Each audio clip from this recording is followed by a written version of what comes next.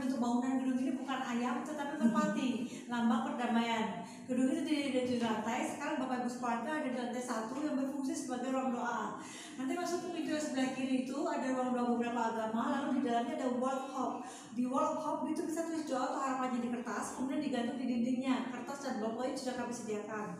Lalu jalan lurus terus, nanti ada lorong yang di kiri kanannya banyak terdapat ruang doa pribadi.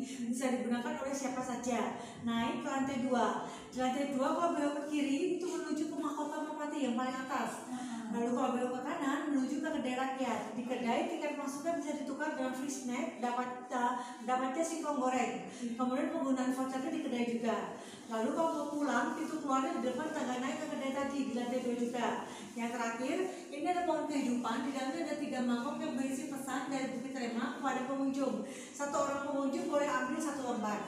Itu saja. Terima kasih atas perhatiannya. Ya, silakan. Terima kasih.